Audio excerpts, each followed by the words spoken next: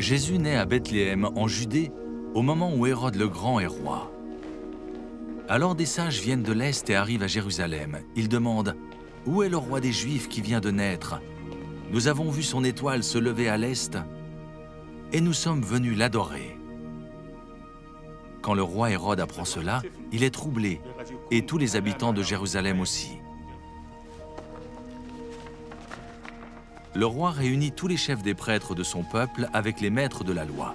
Il leur demande « À quel endroit est-ce que le Messie doit naître ?» Ils lui répondent « Le Messie doit naître à Bethléem, en Judée. En effet, le prophète a écrit « Et toi, Bethléem, du pays de Juda, tu n'es sûrement pas la moins importante des villes de Juda. Oui, un chef va venir de chez toi. Il sera le berger de mon peuple, Israël. » Alors Hérode fait appeler les sages en secret il leur demande « À quel moment est-ce que l'étoile est apparue ?» Ensuite, il les envoie à Bethléem en disant « Allez vous renseigner exactement sur l'enfant.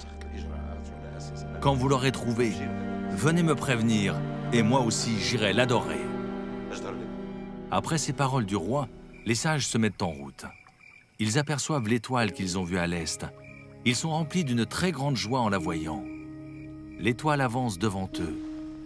Elle arrive au-dessus de l'endroit où l'enfant se trouve et elle s'arrête là. Les sages entrent dans la maison et ils voient l'enfant avec Marie, sa mère. Ils se mettent à genoux et adorent l'enfant.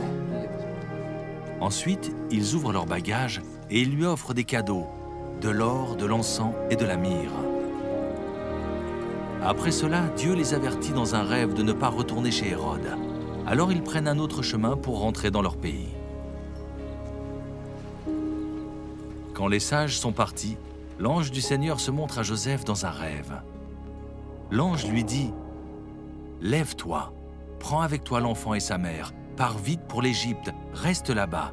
Je te dirai quand tu dois revenir. En effet, Hérode va chercher l'enfant pour le faire mourir. » Joseph se lève, il prend avec lui l'enfant et sa mère, et il part pour l'Égypte pendant la nuit. Il reste là-bas jusqu'à la mort d'Hérode le Grand. Ainsi se réalise ce que le prophète a dit de la part du Seigneur, « J'ai appelé mon fils à sortir d'Égypte. »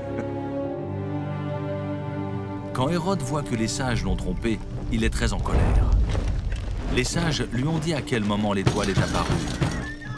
C'est pourquoi il donne l'ordre de tuer tous les enfants qui ont deux ans ou moins de deux ans à Bethléem et dans les environs. Ainsi s'est réalisée cette parole du prophète Jérémie. Dans Rama, on entend une plainte, des pleurs amers et des cris de deuil. C'est Rachel qui pleure sur ses enfants. Elle ne veut pas être consolée parce qu'ils ne sont plus.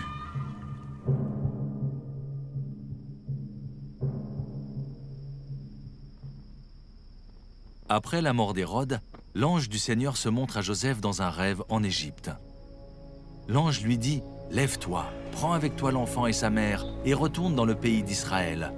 En effet, ceux qui voulaient tuer l'enfant sont morts. Joseph se lève, il prend avec lui l'enfant et sa mère et il retourne dans le pays d'Israël. Mais il apprend qu'Archéalos est roi de Judée depuis la mort d'Hérode, son père. Alors Joseph a peur d'aller en Judée. Le Seigneur lui parle dans un rêve et Joseph va dans la région de Galilée. Il vient habiter dans une ville qui s'appelle Nazareth, ainsi les choses se passent comme les prophètes l'avaient annoncé. On l'appellera Nazaréen.